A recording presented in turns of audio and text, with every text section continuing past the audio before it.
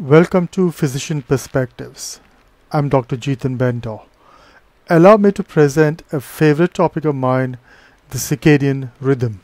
Here is an introduction. Let me start by quoting Richard Preston. In biology, nothing is clear. Everything is too complicated. Everything is a mess.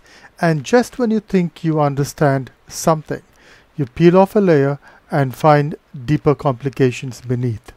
Nature is anything but simple. In this publication titled Circadian and Ultradian Clocks and Rhythms, the authors quote Rhythms are a ubiquitous property of all living organisms. The term biological rhythm can be used to describe any molecular, physiological, or behavioral event or process that is recurring. Please note that the reference to a publication is available at the bottom of the screen. Please feel free to access the publication. They're all available online. The authors have kindly broken down this world of biological rhythmicity into a simple diagram here, and they have broken that down into ultradian, circadian, and infradian rhythms. These rhythms can last from seconds and can go on for a year or years. We are focusing mainly on the circadian rhythm. The term circadian derives from a Latin phrase circa diem, which means about a day. We have further dissected that day into 24 hours for our convenience. So we can conveniently call the circadian rhythm a 24 hour rhythm. You have to realize that these 24 hours comprise of light and no light or day and night. The circadian rhythm that follows the daily daylight dark cycle or the light and no light cycle govern rhythmic changes in the behavior of most species in our planet. There is an entire field of uh, science called chronobiology where researchers study the mechanisms underlying the biological timekeeping systems and the potential consequences of their future. Let me take you through the activities of a typical human circadian rhythm. Let's start at midnight 12 o'clock when we should be fast asleep. We reach the deepest level of our sleep around 2 o'clock. Our temperature drops to its lowest at 4.30 in the morning. We wake up early in the morning around 6.45 or 7 o'clock when there's a rise in blood pressure and a reduction in melatonin melatonin is a hormone of uh, darkness. There is an increase in testosterone and other hormones. It reaches a peak around 9 o'clock. This wakes us up and uh, keeps us highly alert. And we go through our daytime activities. The cardiovascular system and the musculoskeletal system cope with our daytime activities. Towards the evening, we prepare ourselves for sleep melatonin secretion increases at around 9 o'clock at night and we go to sleep. So here is what would you know a typical human circadian rhythm look like. After the illustration of a typical human circadian rhythm, let's get a few notches deeper into how the circadian rhythm works in biological systems. Here is a beautiful illustration of how to keep the circadian rhythm running. In order to keep the circadian rhythm running, we have to have uh, circadian timing systems. And these timing systems are run by clocks that are present in various organs in our body. The master clock is in the brain at the suprachiasmatic nuclei, the SCN and that governs pretty much all the other clocks in the body and these clocks in various organs have to work in tandem. They cannot work against each other because if it does or if they do then disease uh, manifests. So in order to make these work together the suprachiasmatic nuclei make sure that hormones and temperature and uh, systems like the sympathetic nervous system and the parasympathetic nervous system regulate all the various clocks in the body. Light seems to be the largest stimuli which is uh, which works on the retinal cells and directly stimulate the suprachiasmatic nuclei. Food and exercise also stimulate central and peripheral clocks, but not to the extent as light does.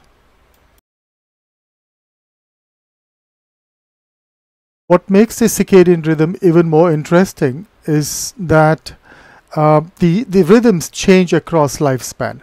So the circadian rhythm changes from infancy over uh, adolescence, adulthood, and during older age. The sleep wake uh, cycles also change with aging. Temperature changes, um, uh, you know, peaks during childhood. Melatonin, a very important hormone. The rhythms of melatonin also are ch also change during the different stages of life, as well as uh, as well as does uh, cortisol.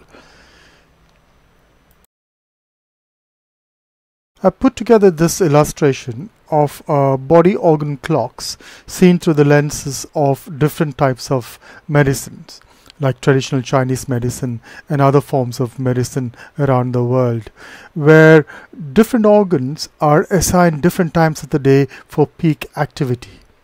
One way of looking at it is probably if one uh, gets woken up early in the morning around 4 o'clock or 5 o'clock, um, some forms of medicine or some sciences say that this could be a problem with the large intestine. So one needs to look into what the challenges are. So this kind of uh, clock also helps us look into um, how we can put these different systems together and, and merge them into this complex circadian rhythm. One of the interesting topics in this publication is the maternal fetal rhythm synchronization. The rhythmic environment is critical for normal fetal and postnatal development. The developing fetus is exposed to an array of time cues from its mother. And one of the important signals provided by the mother is through melatonin. So these environments or these rhythmic environments help the develop help the fetus develop rather into a healthy one. Any disruptions that alter maternal endocrine timing signals, for example, can impair maternal fetal synchronization and fetal development.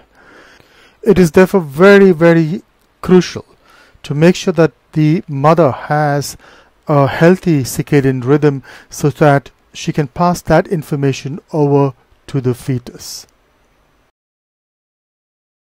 So what's going to happen if there is a disruption in the circadian rhythm? It certainly changes many biological processes. So how can the circadian rhythm get uh, disrupted? Basically, we need to look into many environmental factors such as night shift, working late hours or working through the night, exposure to artificial light, exposure to electromagnetic waves. These basically change um, or alter melatonin rhythms and precipitate a lot of different uh, medical challenges. It is also important as uh, depicted in this uh, diagram here that these changes, including melatonin rhythm disruptions, can impair gene expressions. And these aberrant or these impaired gene expressions can alter cell proliferation and can even end up with various cancers. This interesting review looks at uh, circadian misalignment in, in humans and what challenges that can cause. The authors in this publication have listed these challenges that can be precipitated by circadian misalignment or circadian rhythm or dysrhythm. They are immune diseases, mood disorders, cancers, enhanced uh, aging, um, kidney challenges, psychiatric diseases, infertility, eye diseases, neurological challenges, sleep challenges, which is peaking these days, as well as metabolic diseases like diabetes. Therefore, it is so important to make sure that this circadian rhythm is not disrupted. One has to look at the human circadian rhythm through a macro lens as well as a micro lens. So one has to look into uh, the various activities of the day, the the food that we eat, the exercise that we do, and try to try to work it out so that the different systems in the body, the different organs talk to each other and are in sync, all in order to keep us healthy.